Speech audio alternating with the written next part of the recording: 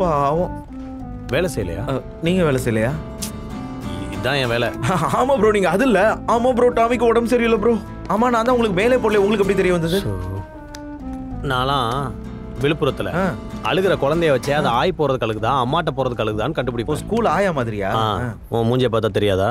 ஆமா இப்பதான் ஆய் போயிட்டு வந்தேன். எப்படியும் ஒரு ஒன் வீக் ஆகும்ல ரெடி ஆகிறதுக்கு ஒன்றும் அவசரம் இல்லை பொறுமையா.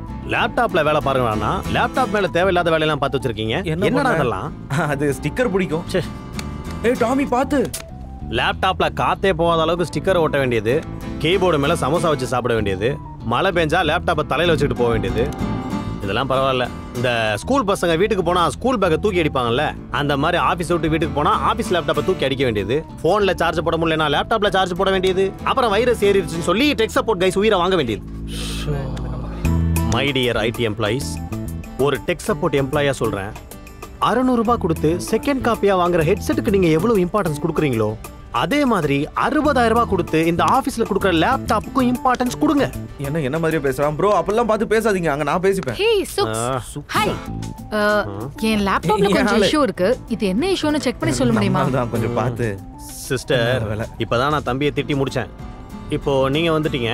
உங்களுக்கு நான் ஹெல்ப் பண்றேன்னு வச்சுக்கோங்களேன்.